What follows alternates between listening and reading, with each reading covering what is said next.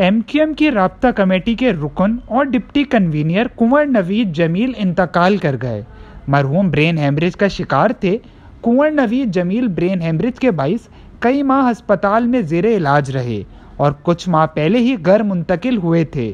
छः रोज़ पहले इनकी तबीयत इंतहाई तशवीशनाक हो गई थी और उन्हें कराची में स्टेडियम रोड पर वाक़ निजी अस्पताल में दाखिल कराया गया था।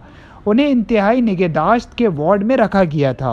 मुतहदा कौमी मूवमेंट ने भी कुंवर नवेद जमील के इंतकाल की तस्दीक कर दी है।